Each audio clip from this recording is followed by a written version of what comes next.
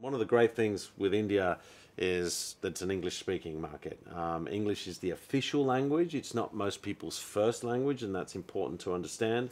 Um, but it is most likely to be the language in which you will be communicating with Indian customers. Obviously, it's a market of 1.1, 1.2 billion consumers.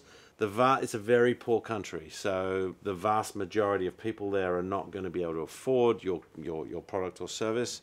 So it's important to know how to target the people who, who are able to afford your product or service. We've seen companies have a lot of success by targeting, for example, iOS users. So, you know, the theory being that anybody that is able to afford a $1,200 smartphone, iPhone, um, is more likely to be a, in demographic that you are charging again depending on your product or service. So that's a really important factor.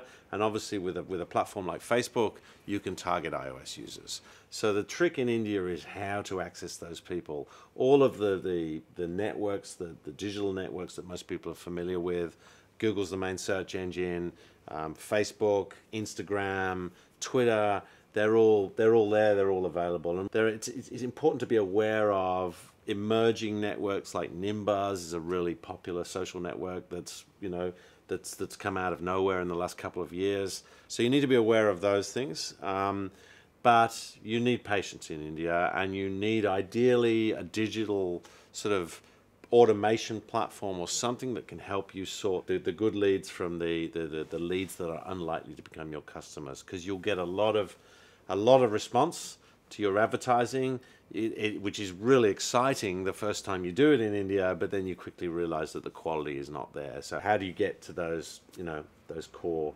customers?